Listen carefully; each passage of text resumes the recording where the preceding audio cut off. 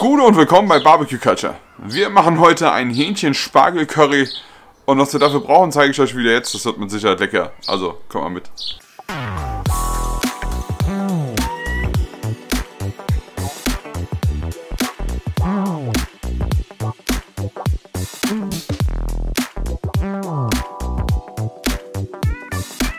Hier haben wir unsere Zutaten und wir brauchen für ein Hähnchen-Spargel-Curry natürlich wieder Hähnchen und Spargel.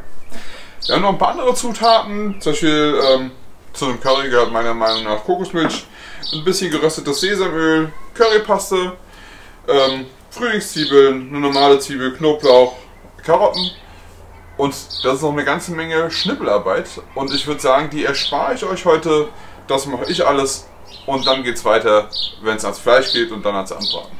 Ich heize jetzt gleich noch ein bisschen hier ein paar Kohlen vor. Wir machen das Ganze heute im Dutch Oven. Und dann sehen wir uns gleich wieder, wenn ich das Ganze geschnippelt habe. Also bis gleich. So, unser Gemüse ist geschnippelt. Bis auf unsere Knoblauchzehen. Die tun wir uns erst klein schneiden, kurz bevor sie dann reinkommen. Wenn wir unser Hähnchen auch alles schon angebraten haben. Ich zeige euch jetzt noch mal kurz, wie klein ich das haben will. Kommt mal rum. So, wir haben jetzt hier unseren Spargel. Den tut ihr euch einfach so in so 2 bis 3 cm lange Stücke schneiden. Also natürlich erst schälen, den unteren Teil abbrechen und dann in so Stücke schneiden. Die Frühlingszwiebeln habe ich einfach in Scheiben geschnitten. Ähm, unsere äh, Karotte auch einfach nur in Scheiben geschnitten. Das muss alles nichts filigranes sein. Das darf heute ruhig alles so sein. Die Zwiebeln ein bisschen feiner als jetzt die Karotte oder sowas. Das tun wir nachher gleich alles miteinander anschwitzen, wenn unser Hähnchen durch ist. Und dann tun wir uns erst um den Knoblauch kümmern. Aber jetzt müssen wir erst noch ein bisschen was an Hähnchen machen.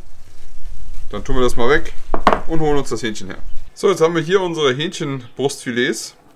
Und jetzt gehen wir erstmal gucken, ob wir hier noch ein bisschen was wegschneiden, was jetzt nicht so schick ist. Hier sowas da rumgeflattert. Das nehmen wir uns erstmal weg. Ja, der Rest ist okay. Jetzt nehmen wir uns die Hähnchenbrust. Schneiden uns jetzt erstmal das untere Teil hier ab. Das ist nämlich das flachere. Und da tun wir uns jetzt schon mal hier so ein paar Stücke draus schneiden. So, die Größe hätten wir gerne. Und das machen wir mit allem. Und um das gleichmäßig hinzukriegen, nehmen wir uns jetzt hier das dickere Teil und schneiden es einmal in der Mitte durch. Jetzt haben wir nochmal zwei flache Teile und die machen wir uns genauso wie die, genauso wie die da. Und dann sehen wir uns wieder. Unser Hähnchen haben wir jetzt klein geschnitten und würzen werden wir das heute nur mit dem scharfen Salz von Schwarzwaldsalz. Ähm, das ist so ein bisschen Salz mit Chili und sowas drin. Ich will gar nicht mehr dran haben diesmal an meinem Fleisch.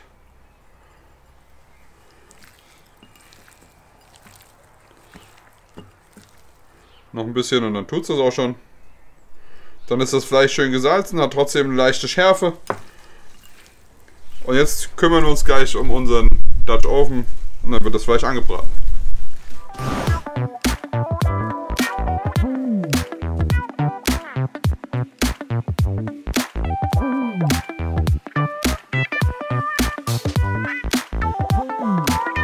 Unser Dutch Oven ist schon heiß. Der hat schon ein bisschen Öl drin. Und da braten wir jetzt erstmal unser Hähnchen an. Das geben wir jetzt erstmal da rein.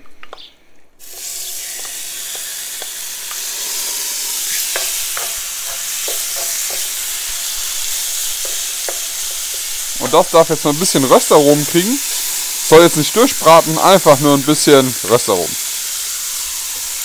So, wenn das Hähnchen jetzt so langsam Röstaromen bekommt, wir wollen es jetzt nicht zu weit garen, weil es sonst später trocken wird, geben wir jetzt schon mal unser Gemüse dazu.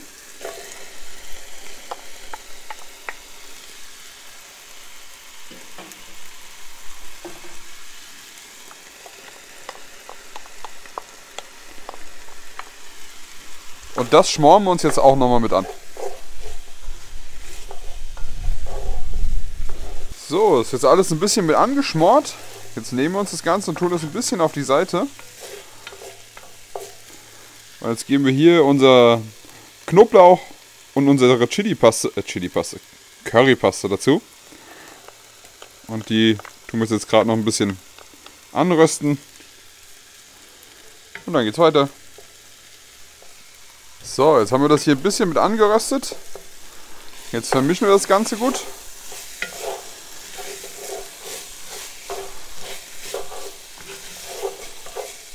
Geben wir noch ein bisschen geröstetes Sesamöl mit dazu. Nicht allzu viel, weil das ist sehr kräftig.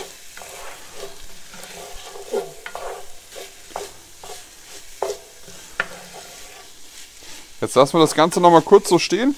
Dann kommt noch unsere Kokosmilch rein und dann muss es noch ein bisschen köcheln. Aber da sehen wir uns gleich wieder. So, das Ganze hat jetzt noch ein bisschen hier mit angeschmort. Boah, das riecht schon fantastisch, das sage ich euch.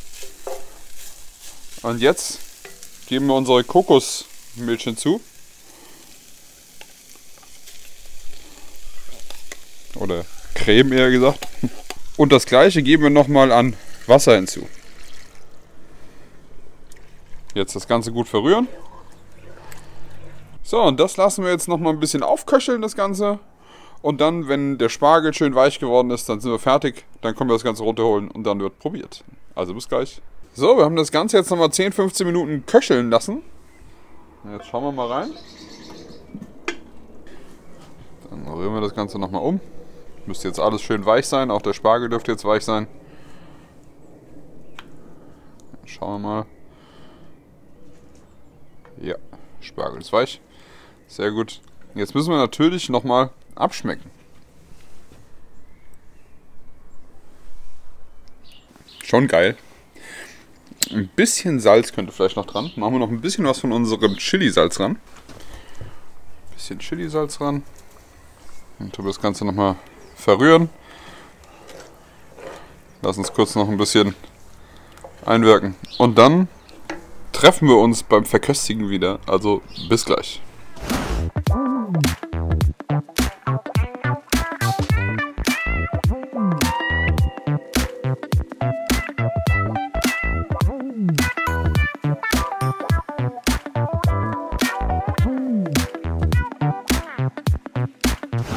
Essen ist fertig und es riecht wieder mal fantastisch. Ich muss echt sagen, ich liebe ja die asiatische Küche.